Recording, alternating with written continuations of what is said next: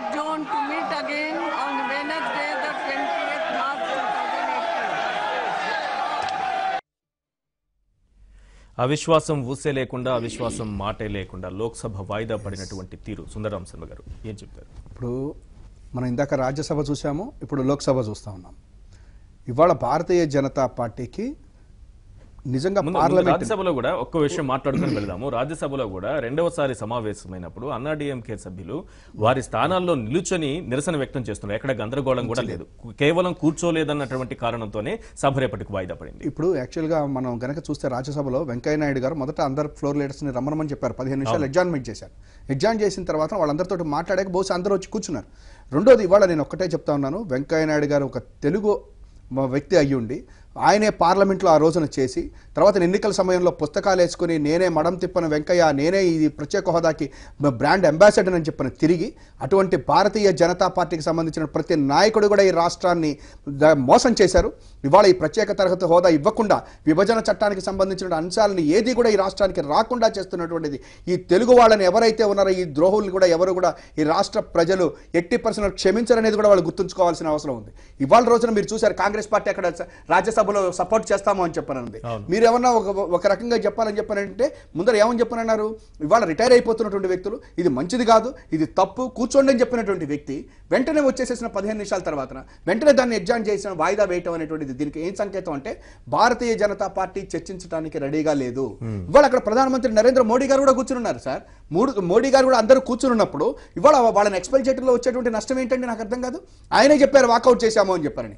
ఎన్నోసార్లు వాకౌట్ చేసినటువంటి సందర్భాలు కూడా ఉన్నాయి. ఎక్స్పెల్ చేసినటువంటి సందర్భాలుగా ఉన్నాయి.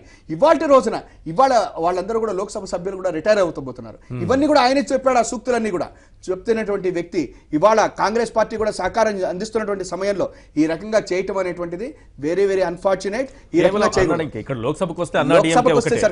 అన్నా డిఎంకే ఒక్క పార్టీ మాత్రమే మిగిలింది. సార్ ఇంకోటి లోక్సభలో అయితే మరీ దారుణం. ఆమె ఫస్ట్ టైం ఏమన్నా యాభై ఎనిమిది సెకండ్లు. ఆమె వచ్చి కూర్చున్నారు యాభై ఎనిమిది సెకండ్లు ఎగ్జామ్ చేసి వెళ్ళిపోయారు. ఇవాళ రోజున ఎన్ని పార్టీలు ఇచ్చినాయి సార్? కాంగ్రెస్ పార్టీకి నలభై ఎనిమిది మంది ఉన్నారు సార్. తెలుగుదేశం పార్టీకి పదహారు మంది ఉన్నారు. వైఎస్ఆర్సీపీకి ఐదుగురు ఉన్నారు. మీకు యాభై మంది దాటిపోయారు. ఇక నువ్వు లెక్కాల్సినటువంటి. అవసరం ఏముంది? ఎంఐఎం సిపిఎం ఆర్ఎస్పి వీళ్ళందరూ కూడా ఇవ్వ ఇచ్చారు ఇంకొకటి కూడా ఏంటంటే సార్ ఇవాళ వాళ్ళిద్దరు కూడా ఇద్దరే సభ్యులట. ఇది రాజ్యసభలో అయితే ఇద్దరే సభ్యులు. ఒక వాళ్ళిద్దరే. వాళ్ళిద్దరిని కూడా సస్పెండ్ చేయొచ్చు ఎక్స్పెల్ చేయొచ్చు. ఫర్ ఎగ్జాంపుల్ ఏది ఇవాళ రోజు వరకు. అదే రకంగా లోక్సభలో కూడా చేయొచ్చు. అట్లా చేయకుండా ఇవాళ వీళ్ళు ఆడుతున్నటువంటి నాటకం ఈ అన్నా డిఎంకే అనేటువంటి ఎవరైతే ఇవాళ ఇంత గొడవ చేస్తా ఉన్నారో వీళ్ళందరూ కూడా భారతీయ జనతా పార్టీ కనుసరణలోనే ఈ పని పనంతా చేస్తా ఉన్నారు. ఎట్టి పరిస్థితుల్లో కూడా ఆంధ్రప్రదేశ్కి న్యాయం జరగకూడదు. ఆంధ్రప్రదేశ్కి సంబంధించినటువంటి ప్రత్యేక తరగతి హోదా డిస్కషన్కి రాకూడదు. ఆంధ్రప్రదేశ్కి సంబంధించినటువంటి విభజన చట్టాల్లో ఉన్నటువంటి అంశాలు ఏవి కూడా ఈ దేశ ప్రజలకి ఈ రాష్ట్ర ప్రజలకి తెలియకూడదు అనేటువంటి ఒకే ఒక్క విధానంతో వెళ్ళారు. బహుశా రేపు ఇవాళ వాయిదా వేశారు సార్. రేపు సైనాడే మొత్తం కూడా రాజ్యసభ చేసేటువంటి? అవకాశమే ఎక్కువగా కనిపిస్తా ఉంది. ఎందుకంటే ఇవాళ కర్ణాటక పరిణామాలే జరిగాయి కాబట్టి రేపు కూడా రేపు. రేపు తర్వాత గురువారం శుక్రవారం శనివారం ఆదివారం సెలవులు.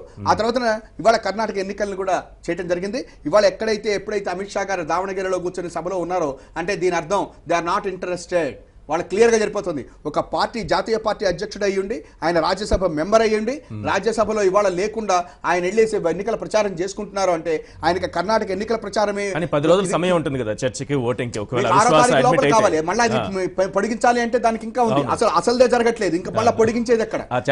ఛాన్సే లేదు. రెండోది అసలు భారత ఒక భారతీయ జనతా పార్టీ జాతీయ అధ్యక్షుడు రాజ్యసభ మెంబరు ఇవాళ ఇంతటి విషయాలు గురించి వస్తా ఉంటే ఆంధ్రప్రదేశ్ సంబంధించింది. ఆయన దావణగిరిలో ఎలక్షన్ చేసుకుంటున్నారు అని చెప్పని చెప్పనంటేనే దాని అర్థం they. Are not sincere they are not serious about the Andhra Pradesh issues కాబట్టి రేపు సైనాడ్ అవుతుంది ఏమీ జరగదు. కాబట్టి ఇవాళ ఒక్కటే సార్ ఈ ప్రత్యేక తరగతి హోదా తీసుకురాగలిగినటువంటి పార్టీ ఒక్కటే కాంగ్రెస్ పార్టీ మాత్రమే. మేము డెఫినెట్గా దీని మీద ప్రజల్లోకి వెళ్తున్నాం. ప్రజల్లోకి వెళ్ళిన తర్వాత మా వెనక. నిలబడేటువంటి వాళ్ళే. ఇవాళ రావాల్సి ఉండేటువంటి అవకాశం కూడా కనిపిస్తా ఉంది సార్. అనురాధ గారు. Yeah. మీరు రాజ్యసభలో చూసాం. మీరు ఇందాక అడగక వాయిదా వేయక ముందే వాయిదా ఖచ్చితంగా పడుతుందని కూడా మేము ఎక్స్పెక్ట్ చేశాము. ఇదంతా ఇలా జరుగుతూ ఉంటే అసలు సభా నాయకుడిగా ఉంటూ సభని నియంత్రించాల్సిన అవసరం ఉన్న మోడీ గారు ఈరోజు ఓన్లీ విజయసాయి రెడ్డి గారిని కాన్సన్ట్రేట్ చేయటం వారు వీరికి నమస్కారం చేయటం వీరు ప్రతి నమస్కారం చేయటం అతను పట్టుకోవటం ఇవన్నీ ఆశీర్వాదం రాజకీయాలు ఎంత. ఘోరంగా జరుగుతున్నాయి. ఈ రోజు విజయసాయి రెడ్డి గారు చేసిన పని ఆంధ్ర రాష్ట్ర తెలుగు ప్రజల యొక్క ఆత్మ గౌరవాన్ని మేడం దయచేసి ఆంధ్రుల మాట్లాడకుండా ఇష్యూస్. మీద తెలుగుదేశం పార్టీ మాట్లాడాలని కోరుకుంటున్నా ఉన్నాము. మీరు ఇదే మీరు- గారికి శాసనసభలో? దయచేసి